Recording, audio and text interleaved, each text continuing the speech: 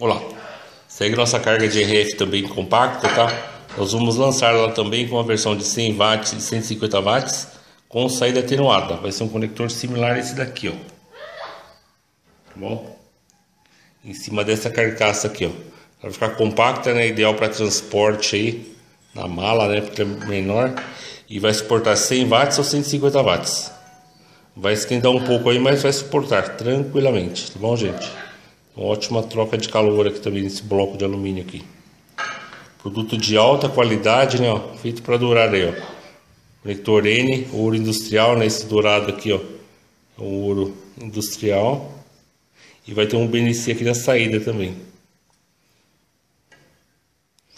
E vamos deixar também as configurações das atenuações da carga lá no final do vídeo, lá vai ter uma foto com a curva de resposta da carga, tá bom? É um produto de alta qualidade, né? Ó. Bloco de alumínio alodizado preto. Aqui é aço, um banho de níquel, tá? É isso aí. Muito ideal, né? Compacto, leve, ideal para transporte aí para uso no seu instrumento aí, monitor de serviço. Você precisa ter uma saída conhecida de potência, né? Então, que você digitar aqui, vai sair até 3 GHz, vai sair aqui atenuado em 30 dB na versão de 100 watts, 150 watts. Logo logo a gente vai deixar o vídeo aqui com a foto da carga aqui.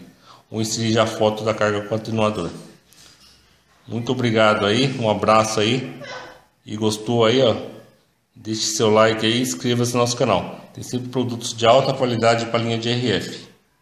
E ótimo acabamento. E tem outras versões de cargas também menores, mais compactas para uso em campo, etc. Um abraço a todos aí, muito obrigado. Valeu aí. Tchau, tchau.